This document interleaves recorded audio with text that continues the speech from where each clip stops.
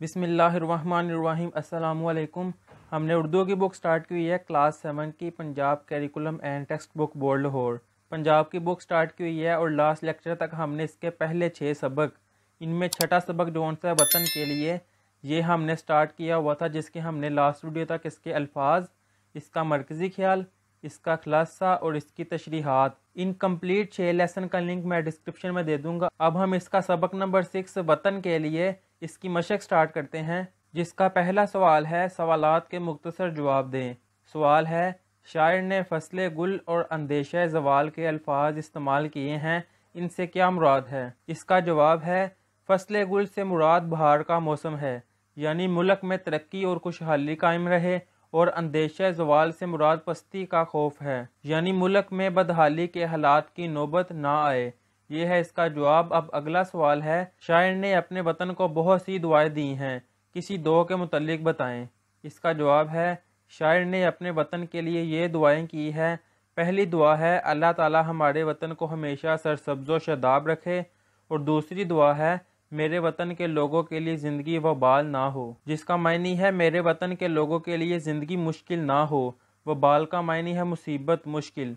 ये है इसका जवाब। अब अगला सवाल है सरे वकार वतन से क्या मुराद है? इसका जवाब है सरे वकार वतन से मुराद वतन का इज़्ज़त व वक़ार है।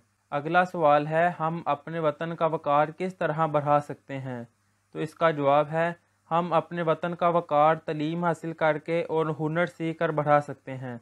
अगर हम इन शोबों में ईमानदारी से काम करें तो हमारा मुल्क तरक्की करेगा और इसके वक़ार में इजाफ़ा होगा। ये है इसका जवाब। अब अगला सवाल है, आप अपने वतन की किस तरह खिदमत करना चाहते हैं? तो इसका जवाब है, मैं डॉक्टर बनकर गरीबों का मुफ़्त इलाज करके अपने वतन की खिदमत करना चाहता हूँ। अब इससे अगला सवाल है, सवाल नंबर दो, इस नज़म का मरकज़ी ख्याल तहरीर करे जो तीन सतूर से जायद ना हो।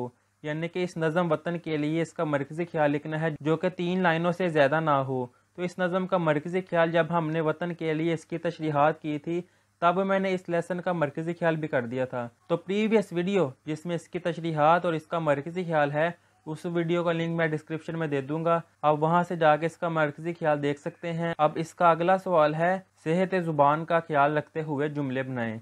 अल्फाज है अर्ज़। तो इसका जुमला आएगा, अर्ज़ समा का खालिक व मालिक अल्लाह ताला है। अर्ज़ समा यानी कि ज़मीन और आसमान। अर्ज़ का मायनी है ज़मीन और समा का मायनी आसमान। अगला अल्फाज है जवाल। जिसका जुमला है ए अल्लाह, मेरे वतन पर कभी जवाल ना आए। अगला अल्फाज है, मजाल। जिसके जुमले है, कानून सख्त हो तो मुजरमों की मजाल नहीं कि गलत काम करें। अगला अल्फाज है, वक़ार। जिसका जुमला है, तलीम हमारे वक़ार में इजाफ़ा करती है। अगला अल्फाज है, तशवीश। जिसका जुमला है, अली की हालत तशवीशनाक है। और आखिरी अल्फाज है, मलोल। जिसके मायनी है, गमजदा। तो इसका जुमला है, कभी मलोल ना हो, हालात बेहतर हो जाएँगे। ये थे इसके अल्फाज जुमले। अब अगला सवाल है, नज़म वतन के लिए का मतन पढ़िए और नीचे दिए गए मिसरे को दुरुस्त तौर पर मुकम्मल करें। यानी कि ये जो मिसरे दिए हुए हैं, इन मिसरों को हमने कंप्लीट करना है। तो अलिफ वाला है, यहाँ जो डैश खिलेगा, वो खिला रहेगा सदियों। तो इसका जवाब है फूल। बे वाला है, और ऐसा डैश कि जिसकी कोई मिसाल ना हो। तो इसका जवाब आएगा, सब्ज़। गनी गिटाएँ यहाँ ऐसी, जैसे बरसाएँ। इसका जवाब है बारिशें। खुदा करे कि ना खम हो सरे डैश वतन। तो इसका जवाब आएगा, वकार, सरे वकार वतन। अगली फिलिंग द ब्लैंक्स है, कोई डैश ना हो, कोई खस्ता हाल ना हो। तो इसका जवाब है मलोल। अब इससे आगे वाला है, हयात जुर्म ना हो, ज़िंदगी डैश ना हो। तो इसका जवाब आएगा वो बाल ये थे इसकी खाली जगह। अब अगला सवाल है, नज़म के पाँचवें और छठे शेर की तशरी माह शार तहरीर करे। यानी कि नज़म वतन के लिए इसके पाँचवीं और छठे शेर की हमने तशरी करनी है। तो इसका जवाब भी यही है कि प्रीवियस वीडियो में हमने इसका मरकज़ी ख्याल और इसकी तशरीहत की थी। आप उस वीडियो में से पाँचवें और छठे शेर की तशरी देकर यहाँ लिख सकते हैं। यह है इसका जवाब। अब अगला सवाल है, दर्ज झैल तलफ़ पढ़िए और अल्फाज को अराब की मदद से लिखें। यानी कि ये अल्फाज दिए हुए हैं, इनके हमने अराब लगाने हैं, पर इनके तलफ़ जोन से वो लिखे हुए हैं, उनसे लिहाज से पढ़ना है। तो पहला है, अंदेशा। तो इसके अराब आ जाएँगे, वो भी यही लफ्ज़ बनेगा, अंदेशा। अगला है जिसके अराब आएँगे रुवीदगी। अब अगला अल्फाज है तशवीश, इससे अगला अल्फाज है मलोल, और आखिरी अल्फाज है वबाल।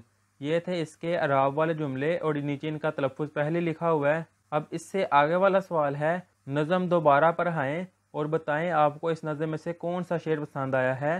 पसंदीदगी की वजह भी बताएँ। यानी कि इस नज़म को दोबारा रीड करें, और फिर बताएँ आपको कौन सा शेर पसंद आया है। और उसकी रीज़न भी दें कि ये क्यों पसंद आया है। तो इसका जवाब है, मुझे इस नज़म में से पहला शेर पसंद आया है, क्योंकि इसमें वतन के लिए बहुत खूबसूरत दुआ की गई है कि अल्लाह ताला इस वतन की बहारें हमेशा कायम रहे और यहाँ कभी ख़जा ना आए।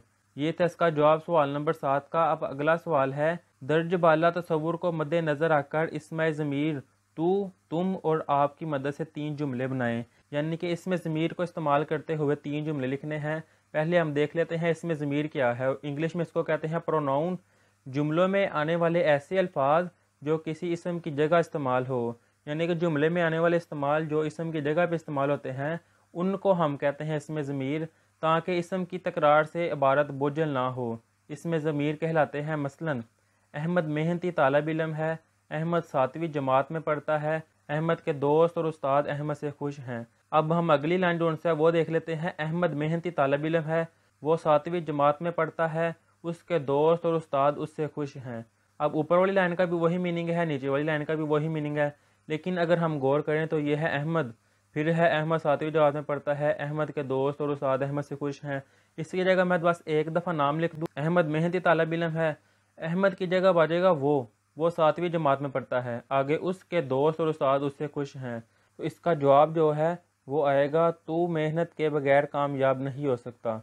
अब आगे है, तुमने खाना नहीं खाया। अब आखिरी है, आप कहाँ जा रहे हैं? तो ये भी जौन सा है, इसमें ज़मीर में आता है। ये थी इसमें ज़मीर की तू, तुम और आपकी लिहाज से तीन एग्जाम्पलें।